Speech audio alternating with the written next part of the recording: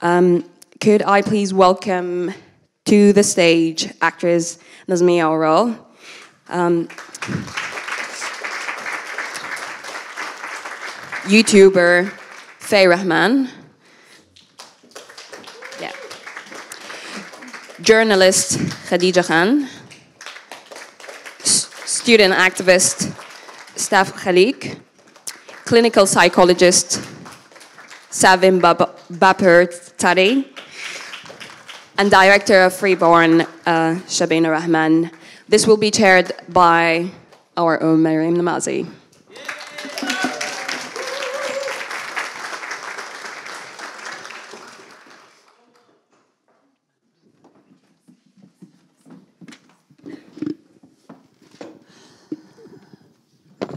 Well, um, this was a very emotional film. Um, I'm glad I'm not sobbing because usually when I watch it, I'm sobbing and I can't breathe. So it's good. At least uh, I. So I recommend you watch it a few times so you can uh, also grasp the importance of it. I think it's it's a wonderful film. We're so honored, um, Shabana and ourselves, to be able to bring this film here to you in uh, in London. Uh, we, would like everyone to see it. We think it's really, really important. Uh, so it's going to be quite an informal panel discussion. Uh, I'm going to ask a few questions from uh, our wonderful panelists, and then also hopefully they can have a conversation as well amongst themselves and then we will for sure open it up to you uh, halfway through. So there'll be plenty of time for you to talk about your own experiences if you want, anything, um, anything that you'd like to talk about. Uh, this is being filmed, so you could also, if you don't want to be filmed, but you have a question or a comment, you could write it and give it to me, but write big because I can't see anymore. So I can't read, read anything anymore without reading glasses, but I refuse to wear them. Um, so I just want to see what time it is. Okay. Um, so I, I, guess we have to start with the most brilliant Nazmiye Oral um, because seriously, I think this is such a touching film. Um, and I think it's such an important film for all of us because it does talk a lot to the experiences of anyone who's uh, decided to be different and to live the life of their choosing. And I think there's a lot of people, maybe everyone in this room has some idea about that. Um, so I'd like to start with you. I mean, I, I think uh, it's such a brave thing to have this conversation with your family. I'm not sure many of us have had these conversations. Sometimes it seems even more difficult than actually not mentioning it and not discussing it. So, why did you feel the need to do something so difficult? Because I, I, guess you could have taken an easier route um, and not have had these very difficult conversations. So why did you do that?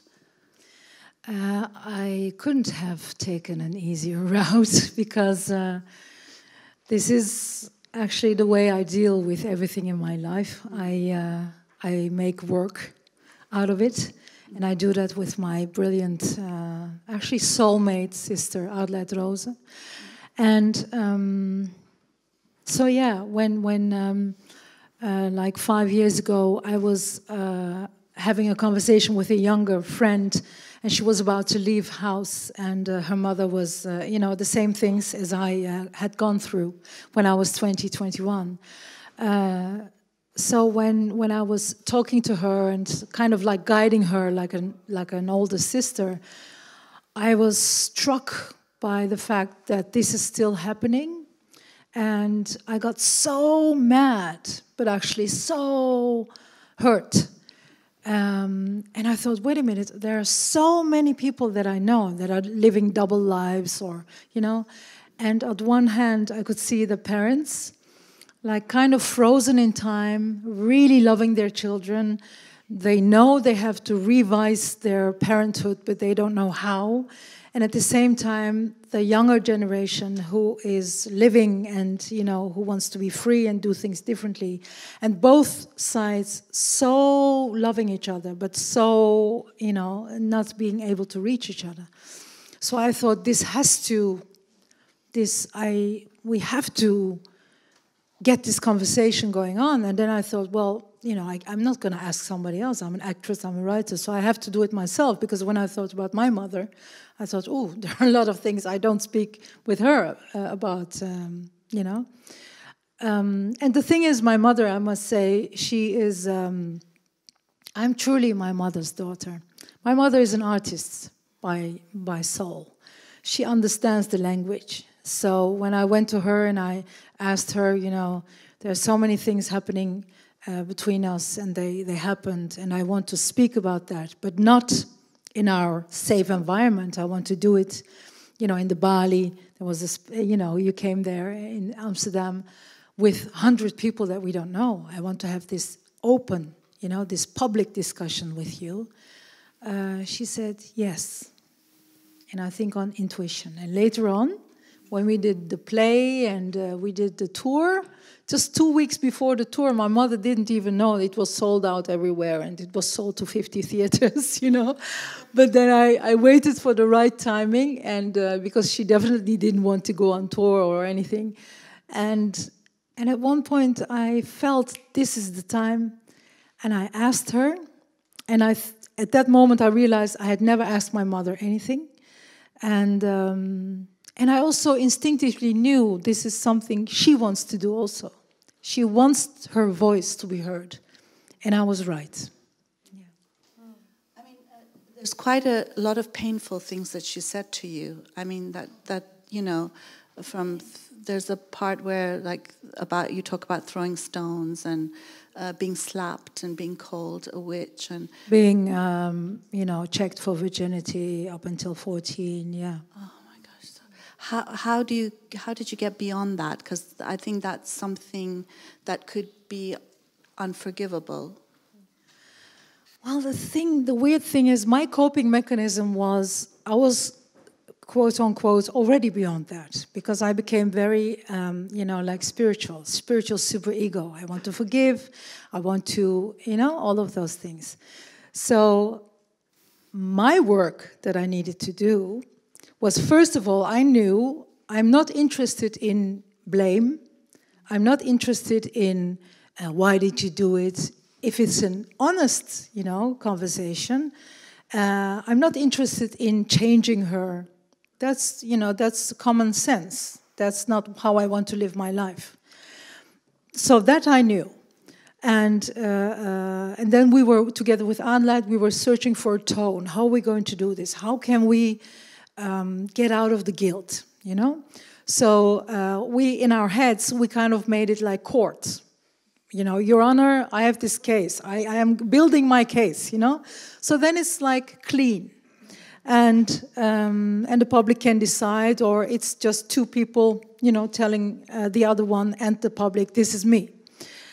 But what Adelheid, uh, my director, really needed to work on uh, was and I can still sometimes see it. I'm now further than, than you know, sometimes. She needed to work on um, me being present in front of my mother, asking her, You checked my virginity. I was 14, I'm laying there, my feet, um, you know, my legs apart, and you laughed, or, you know, there was a notion inside of you that this is not normal. I could sense that, and in that instance, I felt the courage to say no for the first time. You stopped, you laughed as if nothing had happened. You know, those things, I would not feel them because I was so far away from it, because it was so painful. Or when my mother says, Oh, with your uh, ex husband, you, you got him circumcised, you're stupid. I would have lied. That's a big betrayal, you know? And I could not feel it because my coping mechanism had become suppressing or laughing or numb, you know? So that's, that was the real work. And my real courage was to stand there, to be able to feel the pain and not become like water or nothing, you know, not become like. I, I didn't know how to do that. I was so vulnerable. I felt so ashamed that I was not able to you know? And I was very afraid uh, also that something Adelheid had to continuously. I, I trust only one person in the whole wide world. If you want to do anything like this, You have to go to Adelheid Rose, really. Now, I'm not saying this because she's a genius. Um, so I trusted her that it would be just. I knew my mother was in safe hands. But I kept on repeatedly being afraid that the public might hate my mother. I wanted to, you know, protect her. But what I didn't know is that I was afraid of my own hate towards my mother that I thought, you know, people were going to feel. It was my own um, unallowed childish hate. Yeah.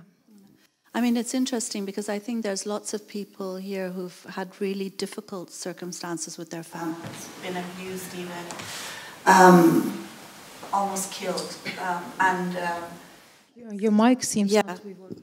Is it working? Yeah. And, and still, there's this really deep seated need to be loved by your family and to be accepted by them and to do anything possible to have that relationship. It, it's it, it's always very mind-boggling for me that you know uh, because it, it's sort of it doesn't matter what they've done you just want that love. Well i think there's two-sided first of all you have like the stockholm syndrome of course. You're like the child and you cannot fathom that the god and the goddess are bad so you, they have to be good you know? But that's the childish side. The other human and spiritual side, good spirituality, you know, like the real spirituality, not the not the bogus one for me. Then eh, is um, I have come to see that, you know, biologically, and in our in our uh, uh, society, the the societies that we come from, there is no. It's not an I culture. There is no uh, individuality. A part who you are is your family you know so that's one thing. It's it's biologically it's it's like dying when you get shunned from your family.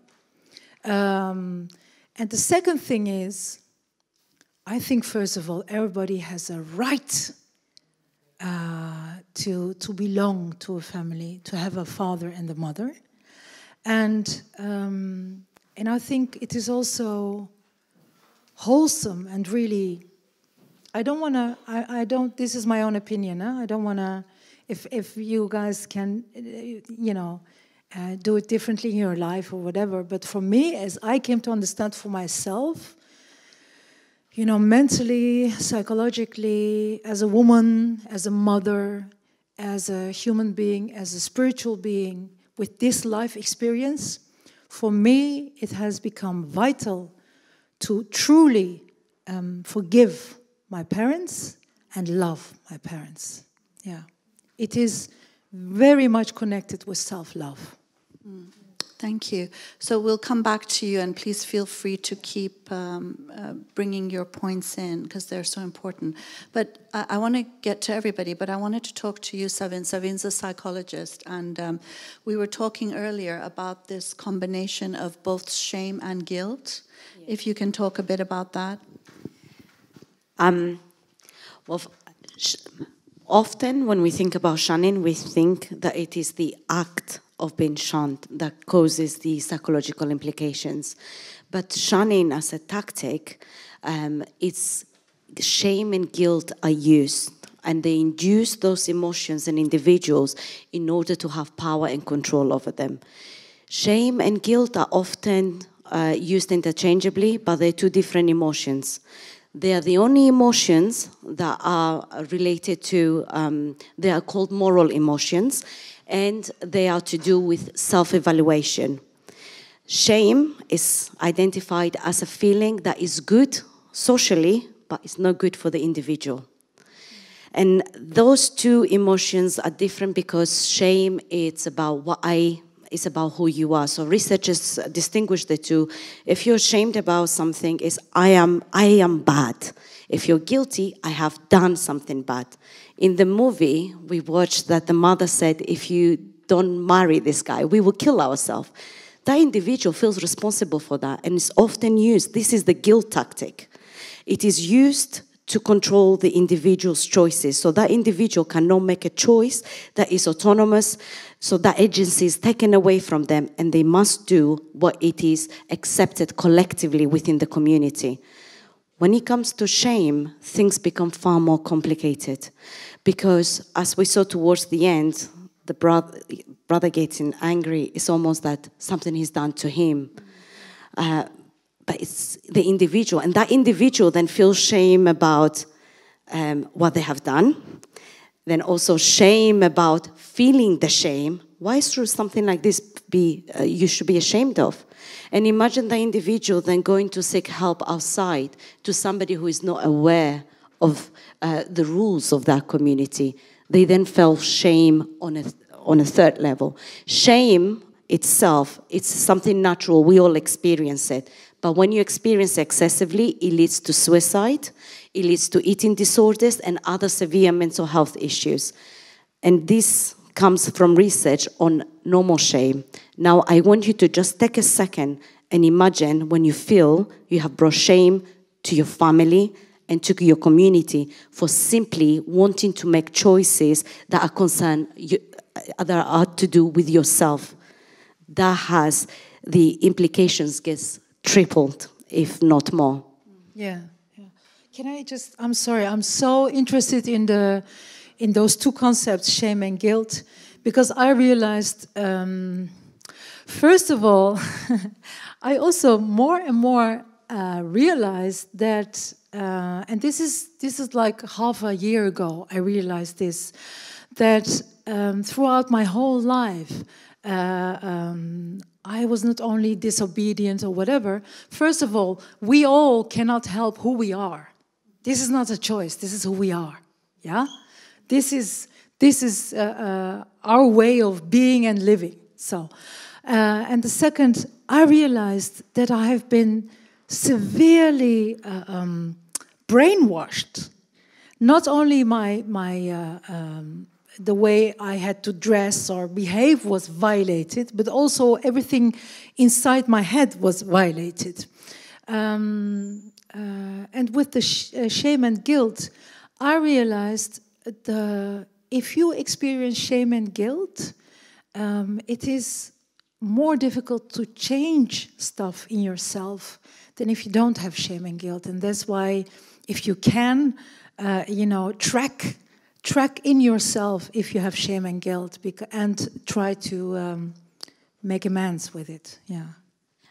And um, just adding to your point it's from a very young age they are um, not programmed is conditioned to think of what is shameful and not i mean think about uh, every religion starts off with the story of the um, uh, adam and eve Eve, when she eats the apple, she realizes she's naked and immediately she wants to cover up.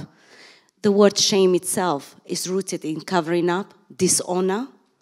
So from very young age, they are primed. And there was something that your mother said, oh, you could have said a white lie. You could have just told me. Why is that? Because she doesn't want to hold the responsibility. So at least if you lie to me, it's not my responsibility. I'm not bringing the shame and I'm not guilty for lying to the rest of the people in the community. It is you. Uh, the, the, problem uh, is like girls, especially girls, especially uh, who are born and raised in religious households. They are brainwashed, indoctrinated, and they are taught to be, you know, ashamed of their bodies. It's like you you have something. You are an embodiment of something which can cause you know uh, some some kind of mayhem in the society. If you are very much open about yourself or you are uh, you know not covering yourself from head to toe or even partially or you go outside and talk about your own choices.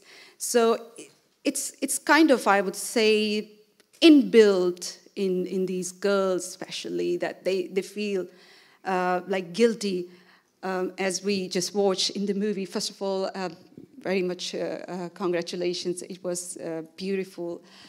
Beautifully, you know, projected the fears and the struggle. Many girls who are born and raised in religious households, they they are having or they are trying to be free, you know, with, from this struggle. The concept of sacrifice from female member of the family. It's, it's very common in uh, conservative household that you have to sacrifice for the honor, for the satisfaction, or whatever reason, uh, what, whatever makes family feel comfortable. You know, you have to sacrifice your choices, your, your own self. And in doing so, you um, you are not always in a position, you know, to come up with something because the way our brother is shouting at sister that you were uh, selfish, you were selfish because you did not care about us. And why did she not care about you? Because she thought uh, about herself. She wanted to embrace herself, her body, her soul, her thoughts, her choice. And there she, uh, you know, violated the so-called family honor. And this is how it's it's not always like uh, or not all girls they can just um, be comfortable uh, with the breaking up uh, uh with the norms and the tradition of the family. Mostly they sacrifice themselves, thinking that okay, myself, my body, my life is nothing. Uh, whatever I'm doing, because you know the love with the family you showed in this movie is so strong that many of the women, and it's, it's a pity that many women, they decide to just give up themselves, like their own choices, their own life, for the sake of their family, because they don't want to get away, uh, uh, get away from this guilt. They, they want to live with this guilt that, yes, I am not what I am, but what I'm doing is just okay for the family. And my family is cool. I am with my family, and that is enough. I, can I? I'm laughing now because, um, you know, I I um, I find this very important to say. If it initially, if it were up to me, I would marry that guy. I would not do anything wrong. I would sacrifice myself. If only if I could have done that. Um, and this is a child speaking, you know. If, when I was 18, 19, if I could have done that, I would have gladly done that. But, uh, you know, then I got some uh, weird psychological stuff going on out of the, I was in a pressure cooker and it felt like I was dying and I had to, you know.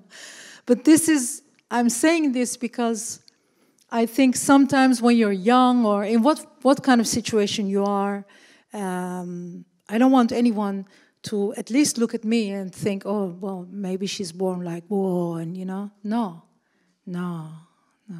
So, yeah. No, I would say, like, you oh. are. Sorry, you are an inspiration, I would say, for many women who uh, would watch this or who are watching this movie. You are an inspiration, but not always this is for everyone. Like mm-hmm. many many girls, they they cannot just uh, break their shackles. They live with that. They die with that, mm-hmm. and uh, all they care about is just my family is happy, and I want to be with family. And this is where the family has to, uh, the family member have to realize that that what they are doing, they are being actually selfish, not that girl. Exactly. They are just uh, they are killing her spirit, her soul. They are dominating her life. But here we have the struggle that we just watched in this movie. There's uh, so many great discussions taking place, and I still want to get to uh, you. I guess let me go to you, Fay, because um, I suppose yours is the other side of the story where you're completely disowned and uh, you cannot have a relationship with your family. Talk a bit um, about that. Yeah, so um, I'm quite open about talking about the fact that I'm disowned because I can't really, especially people that I make long term relationships with, be that in work or in friendships, I really don't like starting off by telling them that everything's fine because, very much so, in my personal life and my family life, everything is not fine. So often I will tell people that I'm disowned, and then the natural question is, what do you mean, why?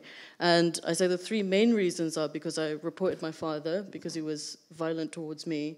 Um, I refused to get married and I left Islam. And the general reaction to that is, yeah, that'll do it. Um, and um, I got disowned in 2018 after all of that went down. And um, it's been really difficult to wrap my head around that because um, I feel like, unlike a lot of people, I was quite emotionally attached to Islam, and when I lost it, I couldn't lie about it anymore. Like it, just became that I just wanted to be myself. And for a long time, I was very disciplined. I stifled who I wanted to be, who, um, you know, the things that I loved. I'm, you know, I'm an artist by nature. I stopped drawing because that's haram. I stopped listening to music because that's haram. I stopped watching TV because that's haram. I focused so much of my energy in just putting it into the religion. So when I left and I lost my faith in that, it became almost like a heartbreak because I, I couldn't come to terms with it. But not only that, I couldn't even talk to anybody about it. And I didn't fi- find this community until a year later.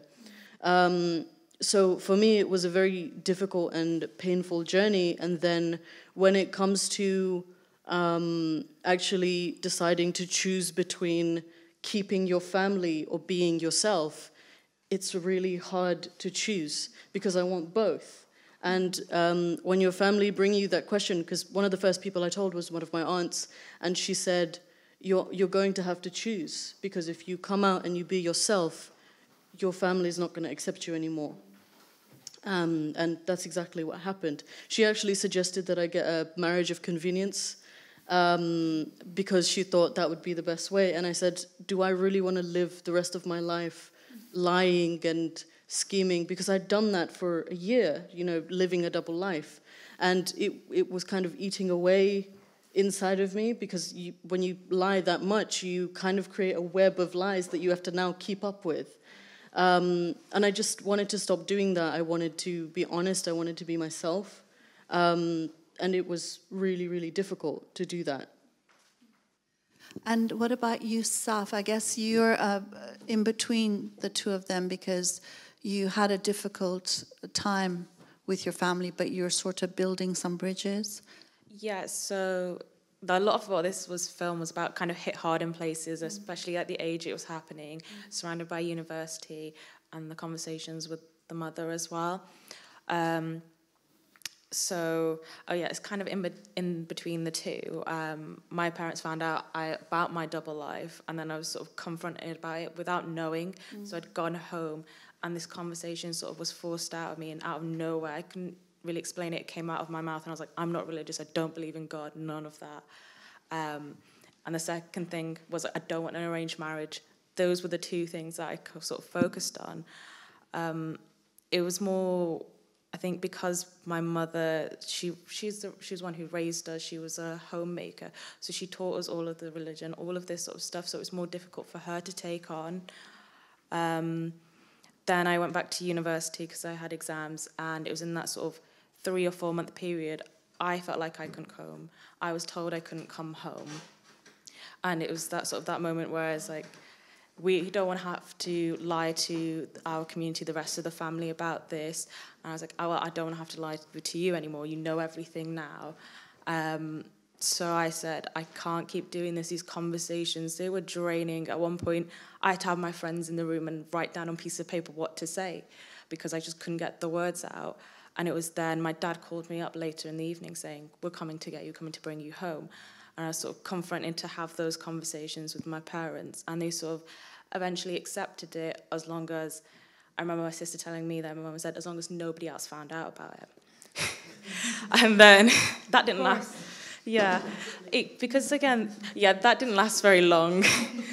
um, and that was mostly because of the other young ex-Muslims I was talking to, the ones living in Pakistan, the ones living in UAE who was couldn't be themselves, couldn't tell their parents because of the countries that they were living. I, I was like, well, look at me, I'm in the UK. My parents know now.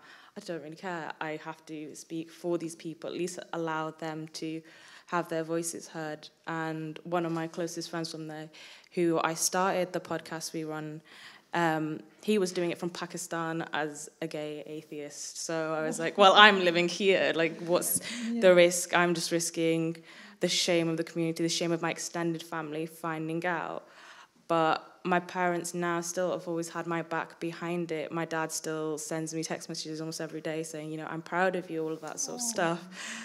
Um, I think that's, yeah, I think it's mostly because he was worried that I didn't feel like I could come home, but now I do. And the podcast and certain topics we've discussed, it's forced me to have conversations with my mum that I wouldn't normally had. And we sort of address it sometimes. Sometimes it gets too heated and emotional because it is an emotional thing. but we can have those conversations. And now, for like my younger sister, it's going to make that easier for her if she chooses whatever sort of spiritual side, whatever she wants to do. It's happened to me, so she doesn't have to go through that hardship, and I'd happily do it again. Wow. Yeah. Uh, I mean, I guess uh, one of the things that came up in the film, and also uh, what you were saying, is this whole thing of uh, it's okay as long as nobody else knows about it. And I think it's it's quite upsetting when you think it's just about what other people think. And I want to come to you, Shabana, because her parents didn't, uh, and your brother didn't um, uh, attack you because of who you were, and your family's restaurant was shot at because they didn't kill you in the name of honor. So, this constant pressure to conform. Do you want to talk about that a bit?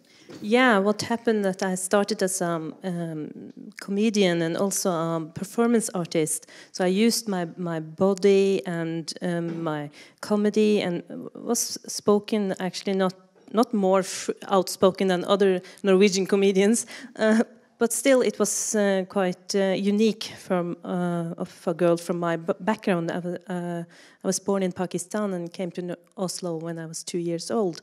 Um, so my mother uh, is religious and my father was really secular and um, they supported my choice of um, whatever I would like to do. And I have four brothers, and we have quite, you know, like you, I have uh, older siblings who took the hard things before me, and so I was really spoiled and didn't wasn't aware of um, the social control in the community because my family didn't go to the mosques. Um, so, so I was unaware of how much control it it really is out there.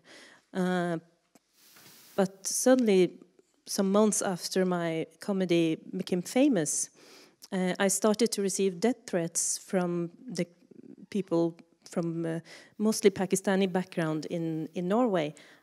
And um, I continued my work, and uh, then they started to um, send threats to my family and um, my brother's uh, friends, even from the childhood, stop talking to them, and you know they start to harass them and ask them, "You are not, um, you are not uh, a good brother. You are not good Muslims. You are not even. You are not, uh, you know, you are not. You can be a male, you know, because you are not. Uh, you don't have your sister in control." And you know, we didn't care about that, but okay, people will speak. We have to support each other and do whatever we are doing. Uh, but then uh, one night, four o'clock in the morning, um, a car drove by my uh, sister's restaurant, and they shot 18 bullet holes through the window, and uh, it was a quite message to my family that uh, to control me. And, um, you know, it was uh, what to do then. You know, um, of course, my family get really scared, uh, and me too. Um, uh, and then, of course, the media was was there asking what to do now. And the the funny thing is that the media uh, asked me that if I regret anything. Uh, so I, just realized that uh, the public are not used to discuss this issue and to understand, you know, what principles we are discussing this out of. So I was, I was feeling um, that the shame and the fear was putting on me and my actions, even from the Norwegian society and the media, because they really couldn't uh, understand why someone are so angry at a comedian in Norway that they start shooting. Um, but luckily, I think the debate opened up, and um, a lot of things happened after that as well. And it threw my family even in discussion. We should actually write a stage yes, play of. I think so. Yeah, the discussion my brothers and sisters had. Our after. mothers should meet. Yeah. And also, also my, my poor mom, what she went through, because the whole community stopped talking to her as well. And it is a lot of pain which is there, which we haven't, you know. So I think this this film, the, the, the pain, the healing, which is also in the movie, the white lies, everything, it will open so many doors in the hearts, in the families, that it should just be continued. And I will right now invite this to Oslo, actually, yes. to have a screening there as well. Uh, so it, has been very hard, but uh, my family grew um, after that. Um, the debate grew, and it became more open. But this was the price I, I paid. Yes, sure. I, am going to come to you also because I want. Uh, I mean, one thing I want to add to that is apart from the family and so called community pressure, is this pressure from the larger society, you know, uh, when you go somewhere to speak, when you want to hire venues, including this one, you know, uh, the concern that they have a duty of care towards their Muslim staff. They would never. Um, talk about a duty of care to their atheist staff if Muslims were coming to speak and this constant pressure you feel just because you want to say that you're an atheist from a Muslim background or you, uh, you know, uh, don't want to live a certain way. And I, I wonder, can we not even call that shunning? You know, what universities do to us, what venues do to us. It's, it's, they, they, they sort of collaborate with the community and family shunning. It's trying to be uh, Can I go? Yeah. Um, so as me and Saff, we both do some stuff online. Yeah. Um, we're we're online personalities, and what we've found is that the the margin for support that we have is very small. Because there are a few right wing people, a few left wing people, a couple of people in the center, and then it's just ex Muslims. Um, there, there is, we're, we're kind of against everybody um, sometimes because um, I think that there's this need on the left to protect uh, a Muslim minority here in the country, which we do understand. We are part of that minority, um, and we, we understand that. But this freedom to be able to say whatever we want is not being respected and suppressed. Um, so it is something that we, we're constantly aware of because we're constantly fighting right to left, left to right, because we're dead center in the middle and we don't have any support. Um, yeah, I mean, a lot of it you kind of have to be very careful. Like I've had to block a lot of right when people start following me and stuff like that. But the amount of times, the amount of times yeah. Um, a lot of like the threats that I got were you're mentally ill, that's your problem, that's why you've left religion. I was like, no, I do have mental illness, but that's nothing to do with religion.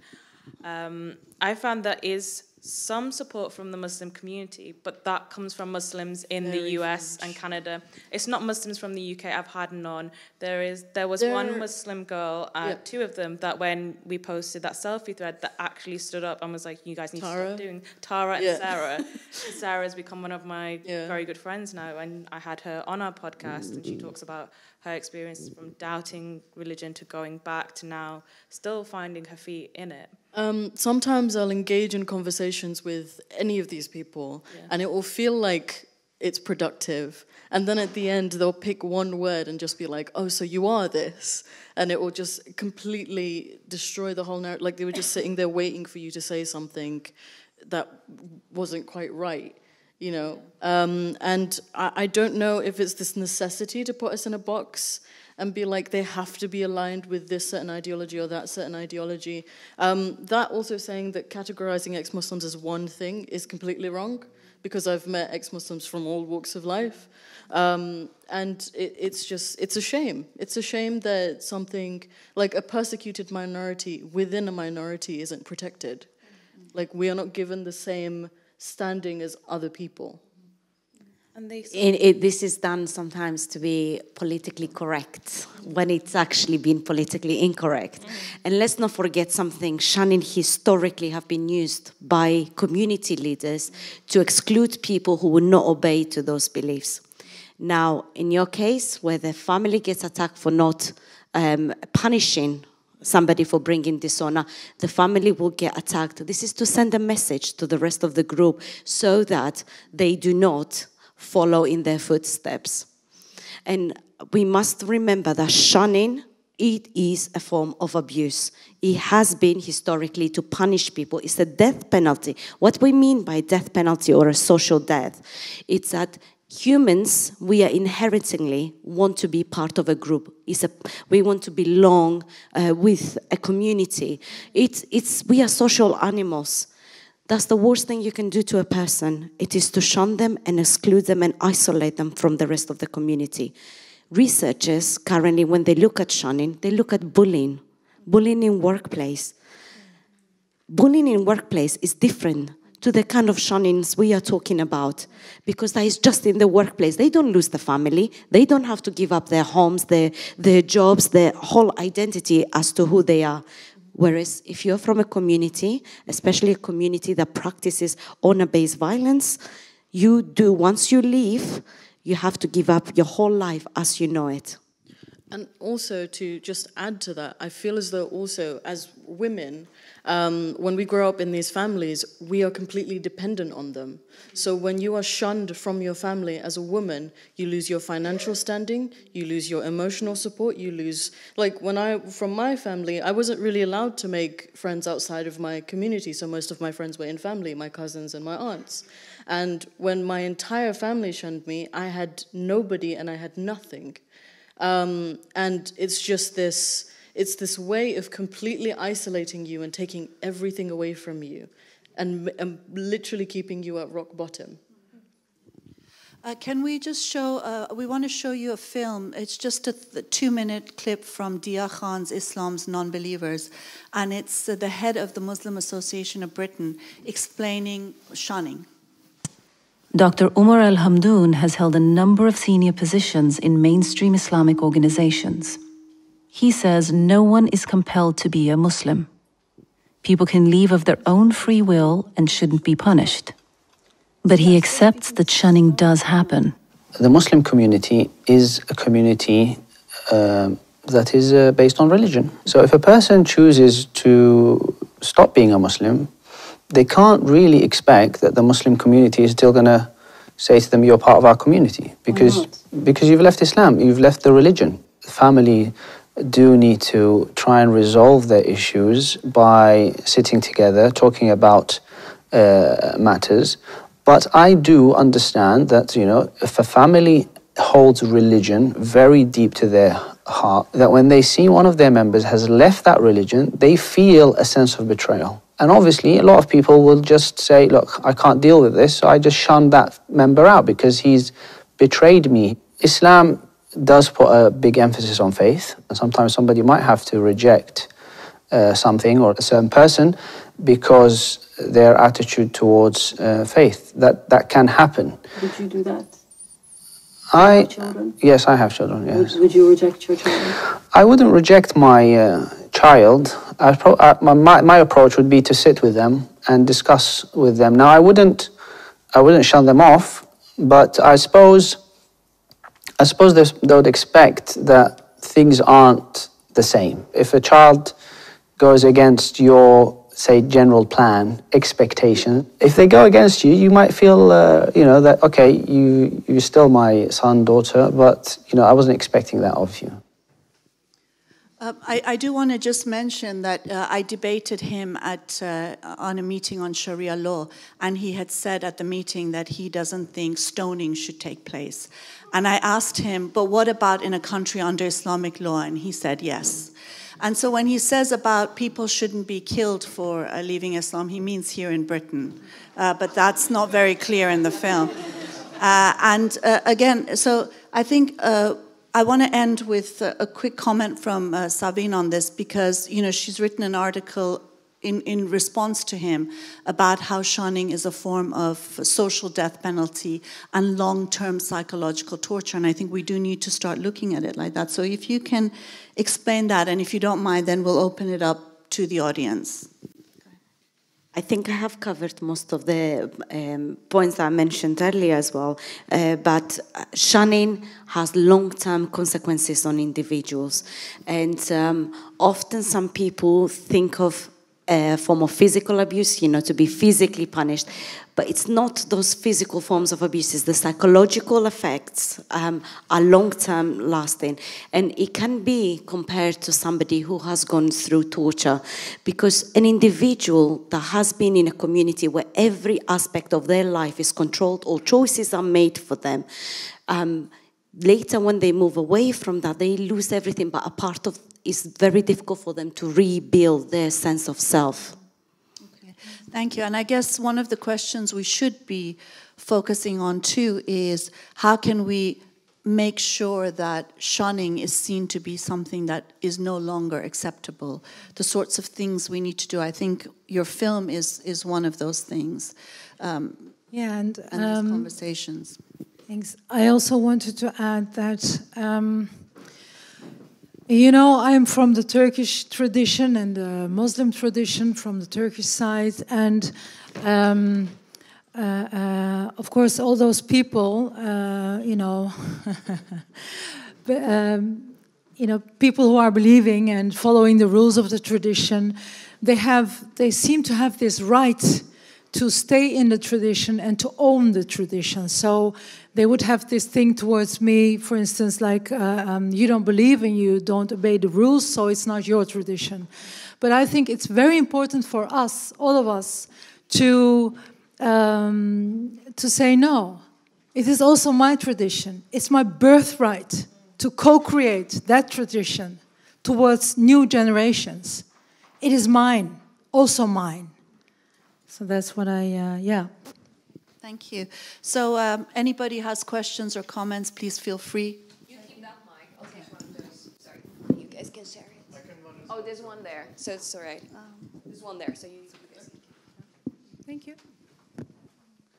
Um, oh, okay, go ahead. And then we've got. Yeah. Oh, thank oh, you. was it? Sorry, I didn't see where you were um, um, Oh, should I do it? Yeah, I forgot I'm the yeah, chair. like, yeah. yeah. Just put it on. Yeah. Just put it on. Yeah. Give it to And then maybe the three of you could speak and put it forward and then we'll send it back. Sorry, guys. Go ahead. Uh, yeah, I just have a couple of questions. First for uh, Nazmiye. Uh, What's my name? we just watch you for I'm from Holland, eh? so everybody's like, hey, that's me. So uh, the first question is like uh, arranged marriage or marrying at a very young age is also another form of getting women to submit or at, uh, or suppressing them. Uh, you've been through actually both of those aspects at the age of 18, and you mentioned it took you about 18 months to actually break up with the guy who you weren't in love with. What would you tell younger women today at the age of 18 to actually do that more productively or actually do it in a better way that it doesn't take them 18 months to get out of something? And the second question, uh, for everybody can chip in on that. Uh, what difference do you see in uh, in behavior in women from diaspora communities or communities or from Pakistan or countries like Iran? What difference do you see from your childhood to now where you're actually observing those women actually coming out and asking for their rights or actually standing up in, uh, for what they believe in? Is there a difference from your childhood to now that you see? That's a couple of questions. Uh, can I ask that we have a few more questions and then we can ask the panel to respond? So. Uh, so my question is, I think what we saw, like what we saw in, in the conversation with your family, was quite anomalous, actually. So there was uh, a level of sophistication in the dialogue between yourself and your mum, and a heightened level of emotional intelligence uh, in the discourse. Why is the mic Oh no! Oh no! Oh no! It's working. It's I'm working. just joking. Um, so there was, a re- you know, it was really quite a sophisticated dialogue between you, but uh, I think for myself, and we saw this in the clip with the gentleman that you debated afterwards. I think actually his position is far more indicative of the level of interpersonal sophistication within our community. That actually we don't even know the idea that your child would leave Islam and you wouldn't shun him. You know, or that you could be okay with him, or that your child would be gay and you would still have a conversation with him. So I feel like what we saw between your mum and yourself was this really elevated level of interpersonal relationship and conversation. But actually, the reality in our communities is much more base, and compared to uh, Western wider society, is kind of at a deficit, actually. Uh, and I wonder how we go about moving that up because I think it, we saw it manifest in some some ways, like when we saw your brother's reaction. That's much more normative, I think, for, for those of us in honor communities than seeing the open, honest, frank, painful conversation that you had with your mum. Uh, can I just take one more question and then we'll we'll open it up and anyone on the panel can respond as well. So ahead. Yeah, this is uh, more of a comment. So, um, yeah, I'm an ex Muslim. I'm also gay. So, I'm really glad that Nazmiye mentioned uh, gay people in the, in the, in the uh, film that we watched. Um, basically, I'm also a former extremist, funnily enough. Um, uh, basically, when I was kind of growing up, my family uh, became like Salafi Muslims, and my mom started wearing the face veil, and she was the one who was kind of pushing the whole religion thing on my dad, rather than the other way around. Um, and when I was a teenager, I realized I was gay. I experienced shame. Um, as the, what's the name of the clinical psychologist, sorry? Savin. And, and as, as, as Savin mentioned, it was, uh, I experienced a lot of shame, so I wanted to get forgiveness. So I read what the, the, the scholars in Saudi Arabia said, and they said you have to become more religious. Now, I was Salafi, right? Becoming more religious meant becoming crazy, right? So here I am on the, on the verge of actual violence, and this is serious. I'm, I'm on the verge of actual violence, like full on jihad and stuff. And uh, thankfully, I managed to get, get myself back from that. And I start experiencing doubts in Islam. I end up becoming an ex Muslim. Um, and I, one day, my parents find out on the same day that I'm ex Muslim and gay. Um, immediately, now that's, that's the double whammy. They immediately, they told me to, they kicked me out of the house. They just get the fuck out, right? And um, I packed my bag and um, they called me back. I came back. They made me go through exorcisms and three months of that. Um, and eventually I had to leave. Uh, uh, that, and that was, that was it. I haven't spoken to them for five years. Um, I dream about my family and my brothers and sisters all the time, like literally every night. Um, but it's, it's, it is what it is. I just wanted to, to ask, what do, you, what do you make of that? It's, I, I also experienced like a chronic like pain condition that's caused by emotional trauma, fibromyalgia. Yes. Um, and I just wanted to get the, the thoughts of, of, of Savin and anyone else on the panel who wanted to come in. Okay. Should, should we have Nazmi and then Savin and anybody else who wants to respond? First of all, I'm not a psychologist, of course, but I think, uh, yeah, I'm, I'm very, very sorry for you, especially when you're dreaming about your family and having this, you know, obviously, I'm sure you have like PTSS, CPTSS, and everything. Anyways, um, I'm wishing you good luck, and I leave your thing to the real um, um, expert. Um, to get back on the 18 year old girl, you know, I don't know because it's very easy to say, uh, uh, talk to your mother. I tried, and she didn't listen. It's very easy to say, say no. I did, but they didn't listen. One thing I think I could have done was that my mother initially, you know, she was very happy and she came to me and she said, Oh my God, your auntie, blah, blah, blah. Um, they proposed like they wanted you to get married with their son. What do you think? Think about it. And then a week later, she came and she said, she didn't ask me, you know, yes or no. She, she just said, told me, next weekend they're coming to ask for your hand. So then I knew it's already done deal. Yeah.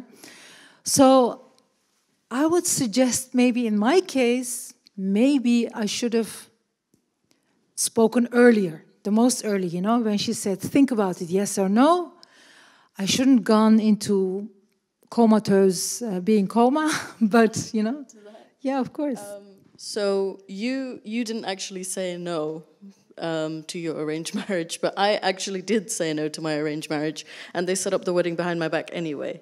Um, so it, I think it's it's really difficult, like you said, to like give one advice when there's when it's really difficult. When it's really difficult to just talk to your family, because as um, Jimmy had asked, it's we don't have that level of conversation like i'm pretty sure even at my um, the age of 18 or 20 my parents didn't really know who i was or i didn't even really know who they were because we didn't have conversations No, like never. that No, Me neither, never. We- We, don't know how to speak. How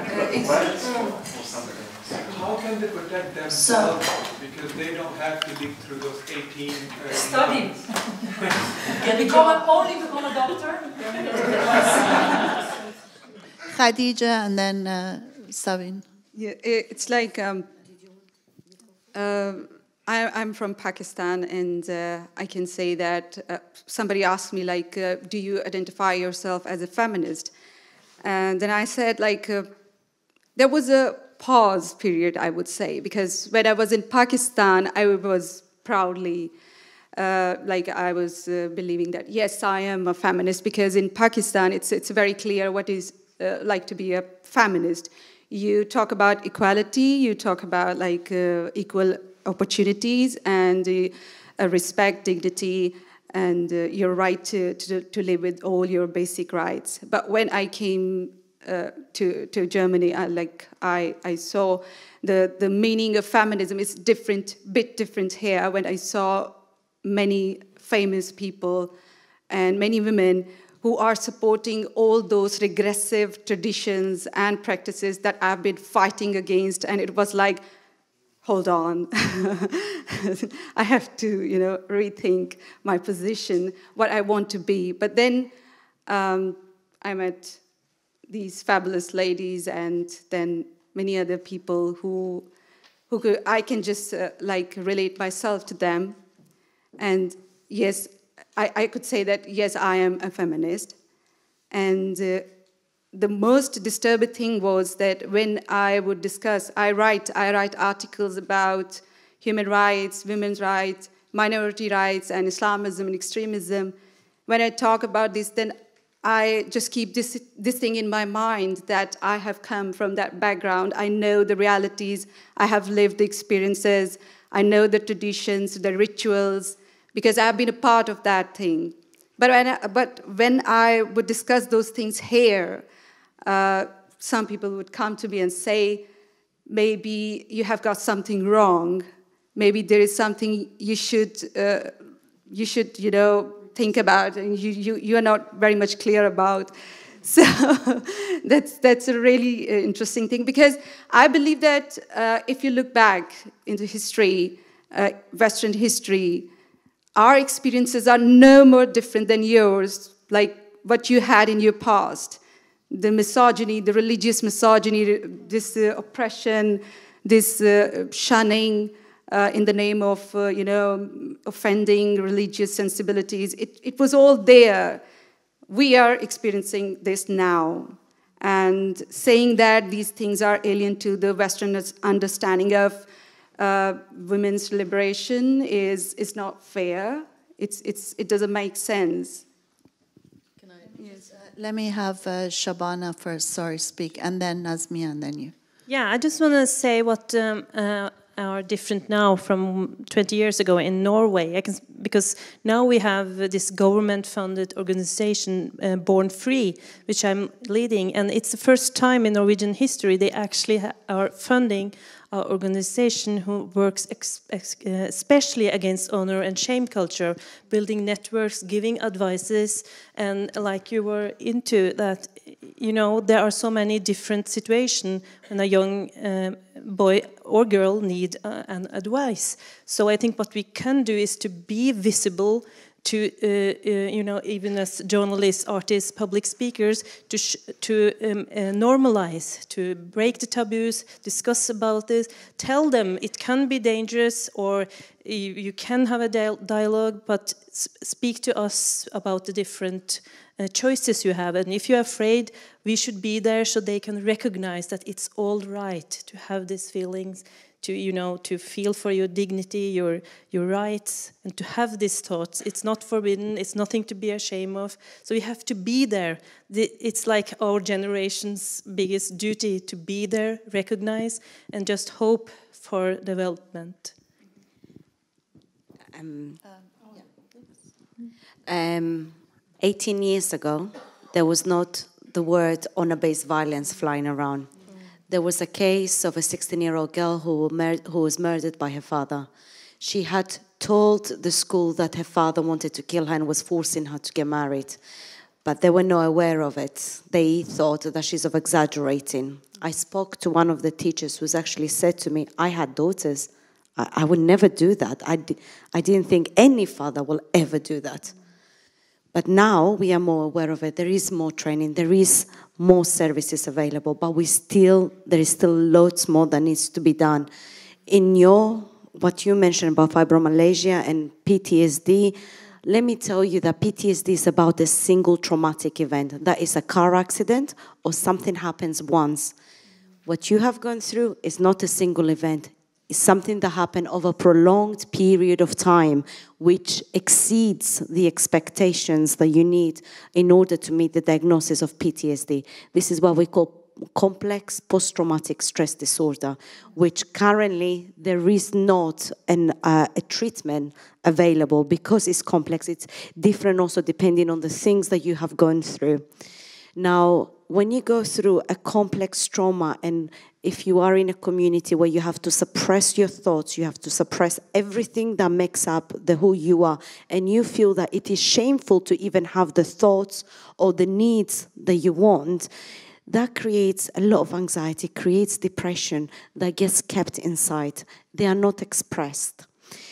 And then later in life, you're, you have a very high chance of developing chronic fatigue, fibromyalgia. Fibromyalgia, if you're not familiar with, it's a really, it's a devastating condition where you feel physical pain of your muscles, you've got muscle uh, tension, headaches, uh, tiredness, difficulty concentrating. It's very difficult to continue your life without relying on painkillers, but there is not a solution, there is not a cure. There are other ways of managing the pain, and you have to think that taking painkillers has a lot of side effects as well.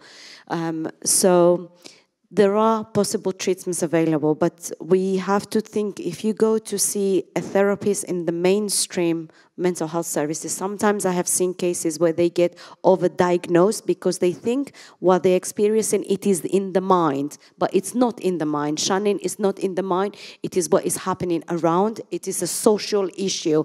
You do not miss your family, you do not have suicidal ideations because you're suffering from depression. Your depression is a result of being shunned which and in therapy mainstream therapy challenges your thoughts. So if you're experiencing shame they would challenge your thought. Why you think you are bad? Can you give me an example of why you're bad? Other times where you haven't felt bad. Of course i feel bad. I feel bad because my family doesn't even want to have anything to do with me. There is so much proof to uh, to suggest that my negative thought is actually real, whereas their job is to challenge your negative thought and find evidence that doesn't support it. And then the work becomes very messy. Can I, um, uh, okay, Nazmiye, do you want to uh, say something? And then shall we ask, get some more questions and we'll come back so we give some more time to the audience? I just want to address uh, your uh, question, yeah, about the elevated emotional intelligence and how to speak to people who don't have that, kind of, yeah, how to elevate the collective intelligence. Well, I must say, with with our play, we have been touring also the community houses in Holland. So not only theater where white people come and a few, you know, colored people, but um, community houses where 99.9% of the audience was um, Somalian, Moroccan, Turkish, you know, from our cultures. And uh, the first time that my mother uh, um, was about to, to um, go on stage, she uh, then I realized she didn't uh, uh, understand what she was doing all the time because she was doing in theater and she was like, ah, these Dutch people, Dutch people, I don't care, you know. But then she was in this community house, and our dressing room was the computer room, you know, where they had these lessons. And she needed to go to the toilet, so she went, and outside were women, veiled women, who were like her. And they were going to be the audience. So that was the first time when, my, when it hit my mother what she was about uh, going to do. Um, so she came back and she immediately had migraine. And then we went on stage. And we also didn't know uh, what to expect. Um, but I must say, 10 big cities in Holland, uh, including The Hague, including uh, in a neighborhood where a lot of uh, jihadis went to Syria, you know, a lot of uh, Salafists. Um, in the audience, there were, uh, uh, you know, parents and their kids. And, um, and also what we did with every city we beforehand we went and we searched for a mother or a father with an atheist kid or a, a homosexual kid or um, uh, a kid who uh, who didn't you know who, who was uh, different you know and um, and two people that had still maybe struggle but they were together no longer without you you know and they were um, integrated into the play and they told the audience their story in the hague i remember there was a mother who was there with her transgender daughter, who was used to be a, a boy and now a girl. And the mother was telling how she came about to stand beside her daughter. And what we experienced is that 10 cities, 10 uh, uh, you know, uh, uh shows, and all the people were so relieved they were so relieved because something happened that I knew because I'm 50. When I when I was 20, I was one of the first in the community to be different and blah blah. And everybody was like, eh, you know. But I knew life is going on, and and these all these people are going to get kids, and those kids are going to do stuff, you know. So now yeah, everybody has a daughter who is not a virgin anymore, or who is gay, or who is not obedient. You know, everybody has someone. So all these parents were so relieved, and we we had um, uh, because it was in a community house, we had uh, discussion afterwards with my mother, with me, and then you know with the audience. And uh, the girls or the younger uh, people, they were like, you know, completely fallen in love with my mother. They were like, I want you to be my mother. And, um, but mostly people were relieved.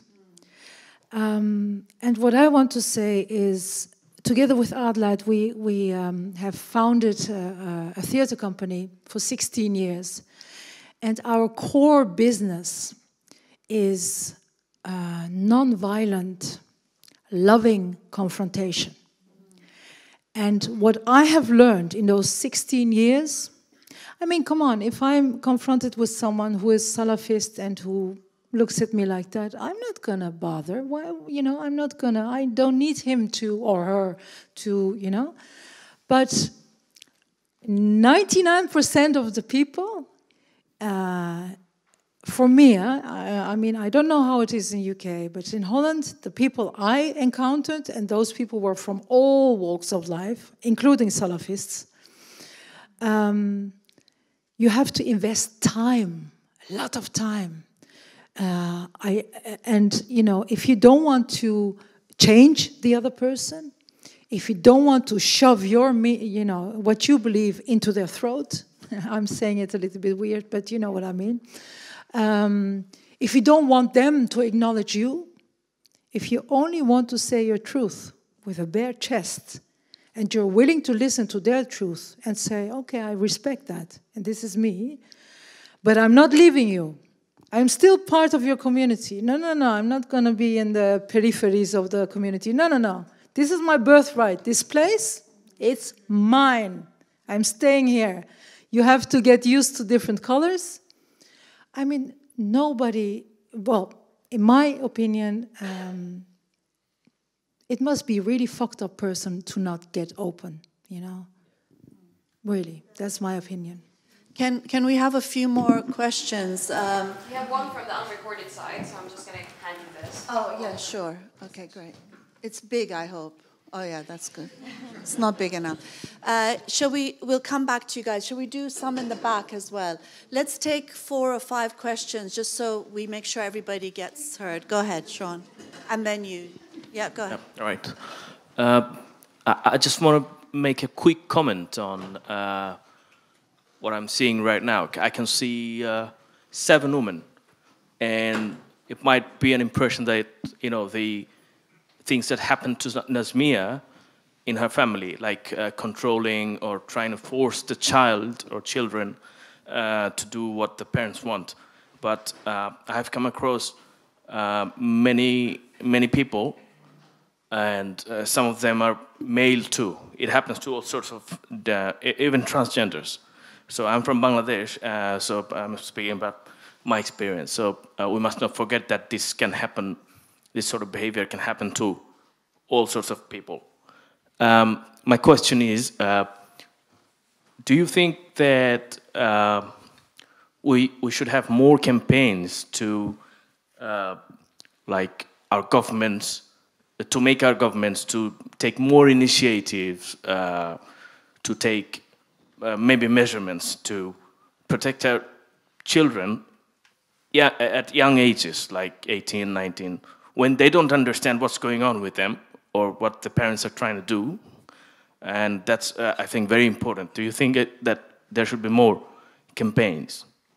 Okay, yes, the gentleman here as well, if you can, yeah. Um, I'd like to share my impression with Nazmi about the film. I get the impression that both of you, your mother and you, are both victims of the religious indoctrination. Uh, it seems to me that your mother has been handicapped by the um, religious uh, programming, whereby she cannot get the full spectrum. She cannot love you as much as she could because of the because of Islam. Okay, any other question back there? Yes. Uh, yeah, thank you. Um, hi. Uh, we heard a lot about how psychologically damaging shunning and that sort of thing is, and also how it's like um, even violent it can become if you try to have these conversations with your family. Um, just from the outside, it seems like uh, sometimes the only options are I can either resign myself to this life or I can sort of cut them out entirely, sort of get away before they have the chance to shun me and do that to me. So, my question is do you have any advice on how to weigh up those options and how to potentially not miss out on that sort of relationship, but also not endanger yourself? That's my question. Thank you. One last question, and I'll read this, and then we'll come back. Nadia, did you want to? We'll come back to you. Uh, the lady there. Oh, sorry. Thank you. Yes. Nazmiye, uh, you said that your husband, you forced your husband to have a circumcision. Um, and your mother was more lenient in that respect. So I think it's very important that uh, this idea of circumcision, especially now that uh, it's very big here in the UK, the circumcision of um, girls, female genital mutilation is very widespread here in England. And I don't know how widespread it is in Holland or maybe in Norway. Uh, can you tell us about this and can you explain to us why is it that you insisted that your husband gets a circumcision and your mother was much more lenient than you? Uh, and the question from uh, those who don't want to be filmed, uh, she's written or he's written, um, I'm going through a similar situation where I have to choose between my family and myself. What helped you make your decision and what helped you the most through that? So, can we start with, uh, should we just go down this way so everybody gets a chance to speak? So, to answer the first question, which was, I think it was about government services, of course you need it. I was going through a phase where I was just turned 20. I was in university, it was in my last term. Like, money was running out. I was lucky I had places, a place to stay. I lucky I had friends that were helping me search things. And there is a thing called estrangement services in universities that do help with it. So when I went to my universities, like social services, and asked them for help, they had dealt with a case like this before. They'd known it existed, but that's not widespread. So we need more of that definitely. And I think what Council of Ex-Muslims are doing with the sort of shelter is amazing. Like to have something like that to even turn to or exist. And then the last sort of question from the young girl who was trying to tie between the two.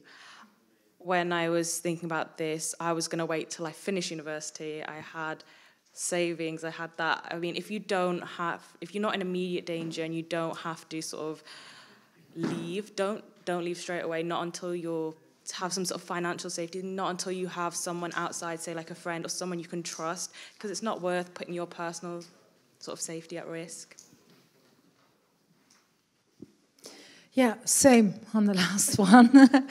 uh, just take care of yourselves. See, you know, take, if it's possible. I mean, usually when you go through these kind of things, you're very young.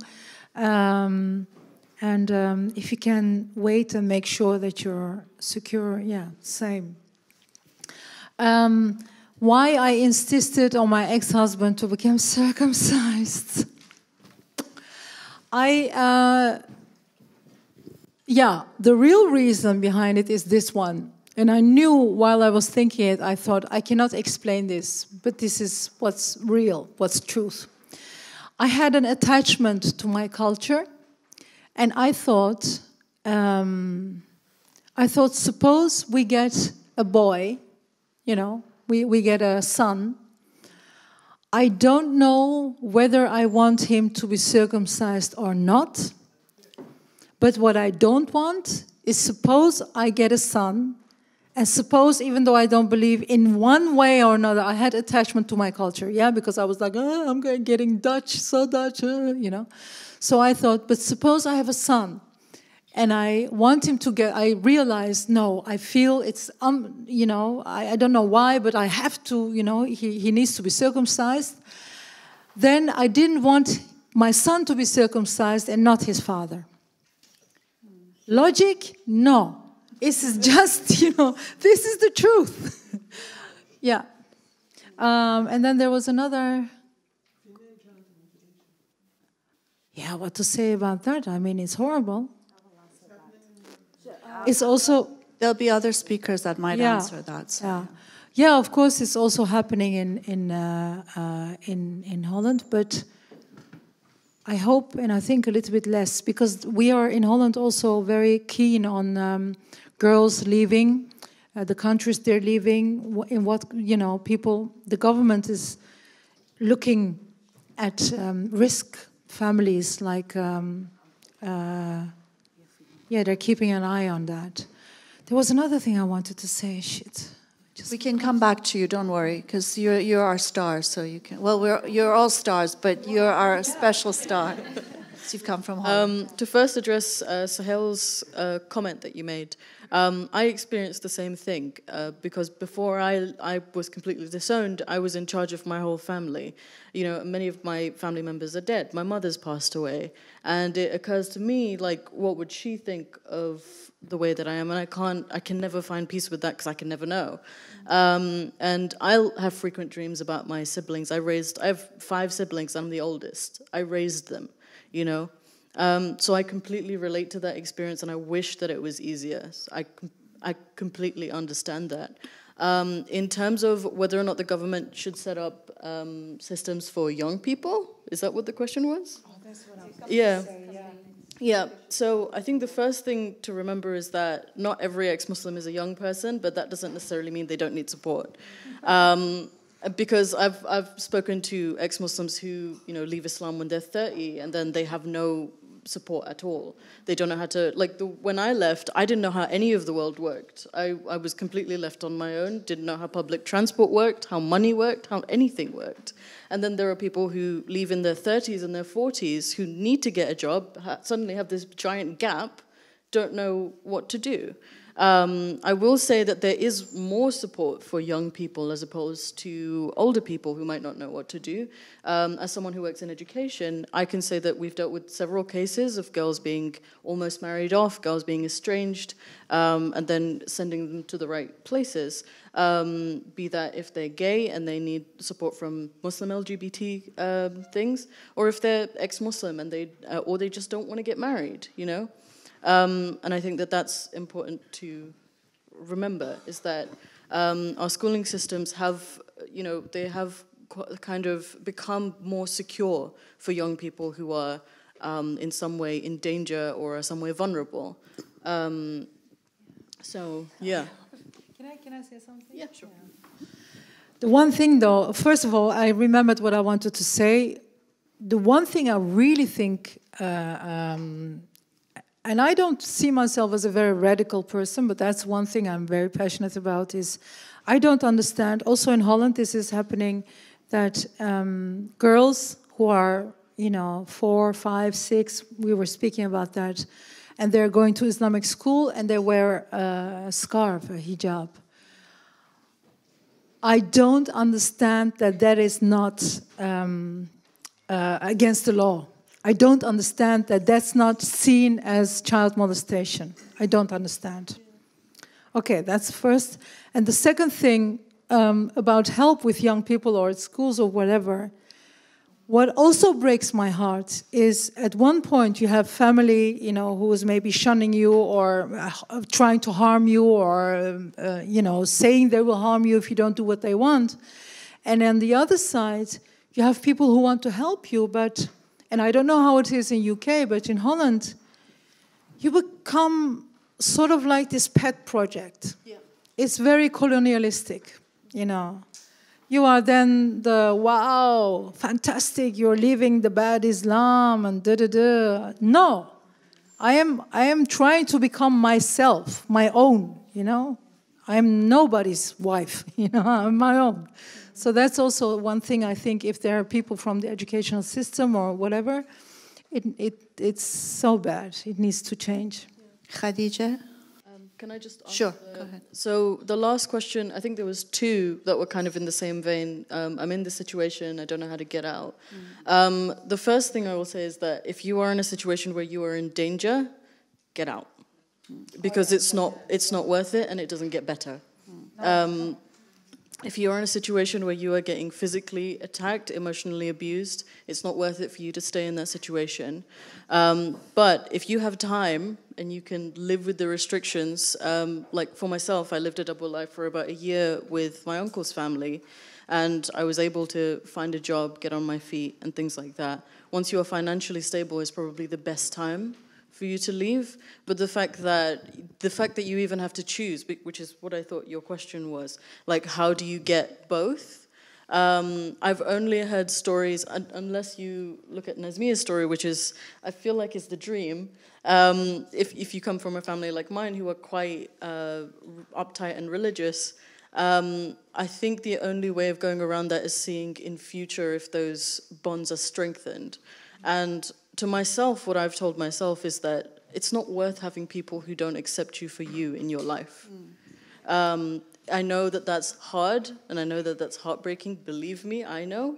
But if you cannot be yourself with the people you love, you need to reassess if you're okay with that. One more time. Sure. Sorry, sorry, well, just, just just, quickly. just say that we only have 10 minutes left, so I Very want, briefly. I want to get some comments here and also just do one last round of questions. Of course. I just wanted to say, um, uh, Adelheid and I just made a, uh, a new show, God is a Mother. And it's about uh, being shunned by your family, uh, uh, about being a mother, and about gay, homosexuality, transgender, LGBTIQ. And um, we spoke with 50 religious mothers and their kids who are religious or, you know, gay, eh, all of them gay or LGBTIQ. But what I want to say is some of them, um, they cannot make amends with their mothers, but uh, uh, you never, you were never uh, born into your own community. You already had to find your own community as gay. And uh, so you have to make an effort to find your own community, and you have to make an effort to find your own new family. And if you need it, you have to make an effort to, you know, ask uh, for a mother. And um, yeah, that's what I wanted to say. Um, I would say, like um, uh, in Pakistan, Ali asked uh, about uh, uh, what it has been for Uh, women from Pakistan, Iran, or other Muslim majority countries uh, as a feminist, or what, it, uh, what is the situation at the moment. Like when I was young, nine, eight year old, my father brought colorful hijabs and he wanted me to wear it and i wore the, those hijabs excitedly because as a child it was uh, very excited for me to have colorful things and to match them with my clothes but after a few days i felt suffocation because i wasn't allowed to take them off i was told that you have to wear it whenever you go outside and uh, I, I felt helpless. I felt like I have no one to turn to. And one day when I came back from my school, I saw my parents fighting, having furious argument. And then my mother, she uh, came towards me and she pulled that hijab off my head and said to my father that I didn't give birth to a slave, which means like she is not going to wear it and it's a sign of oppression and my girl is not going to wear it anyway. My mother is not a liberal mother, I would say. She is still a conservative mother and um, conservative person, religious person. But what she did wasn't, uh, um, was all out of, I would say, unconditional love for her daughter because she didn't want me to suffer. She was suffering and she was unable to break her shackles, but she didn't, didn't want me to suffer. She didn't want her other daughters to suffer. So this is the bonding we have with our family, and obviously it's it's very difficult for any child to just even imagine that this bond can ever be broken. But when it is broken, then it's painful. I, am feeling really sorry for you, Sohail. It's, it's really heartbreaking to hear what you just said, and for you, Fay. It's, it's not easy for any child, and no child deserves this. Parents don't, uh, should not treat their kids as slaves or as some kind of property. They are your children, and you have responsibility towards them, and they owe nothing to you in return.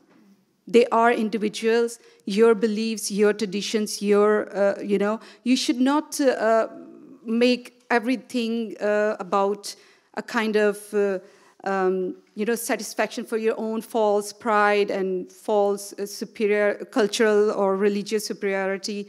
It's, it should be about your kids and the unconditional love that you can give to your child.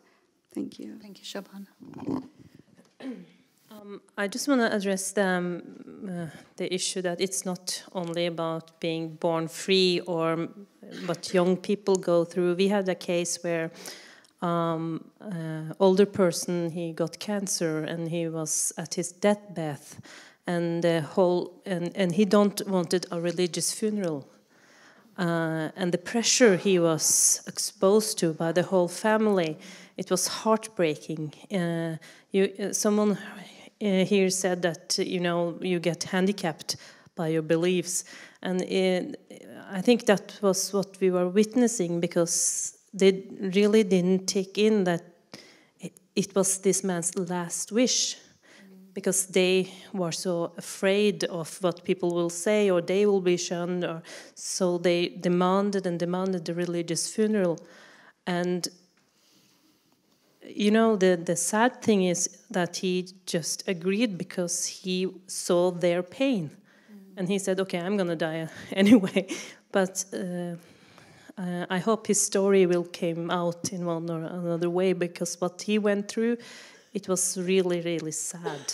So it follows us, you know, the control into the death and after that as well.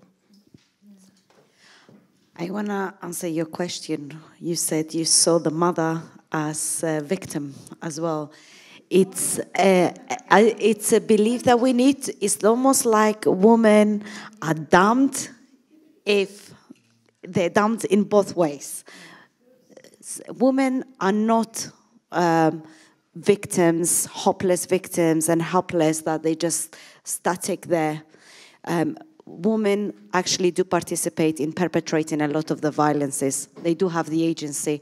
They have the agency to make a choice as to whether they want to help their daughters because we have seen many cases where women will protect their daughters in order not to go through what they have gone through, such as, for example, in a lot of cases of FGM. There are also women who would actually be more, more active in punishing any behavior that a girl has um, done in order to restore honor in the community. And we have seen in the news, sorry, sorry, ahead, sorry. Uh, and we have seen uh, quite a few cases in the news where the mothers have been prosecuted uh, as being the main mastermind behind the killing. Uh, circumcision, male circumcision is very different to female FGM. Both are wrong. Uh, and let's not forget, it involves an adult touching the genitalia of a child. If that is not child sexual abuse, I don't know what is child sexual abuse. Uh, it is mutilated, for the boys, it's very different later on because they do not have the same consequences that it has on a female. Female, she's affected sexually, and sexuality is very important for any human being. It is the one thing that plays a key role in our mental health and the way that we function in our daily life. There is nothing more important than that aspect of a human. And uh, we do see a lot about FGM in the news recently because it has become a mandatory uh, reporting. So if anybody is aware of somebody that is about to be cut or somebody who has been cut, that that has to be reported. And there is also a lot of new legislations in protecting victims of forced marriage, of um, forced marriage, FGM. FGM, sorry.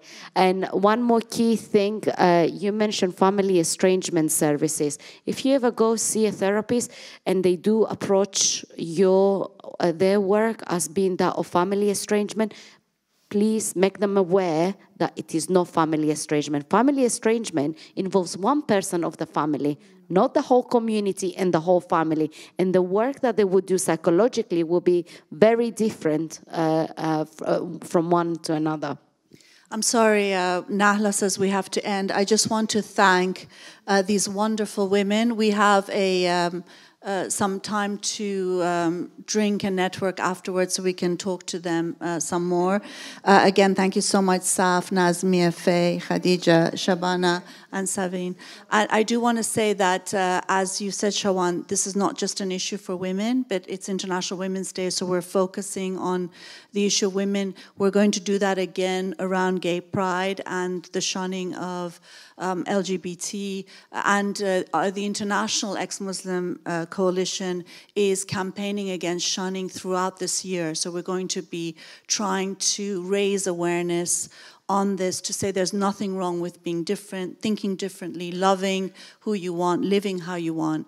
And it's actually shunning that should be shunned, basically, and that should be, uh, you know, um, uh, completely kicked out of our lives and our communities and our families. So thank you again, and uh, I'll leave you to Nahla. Thank, thank you. you.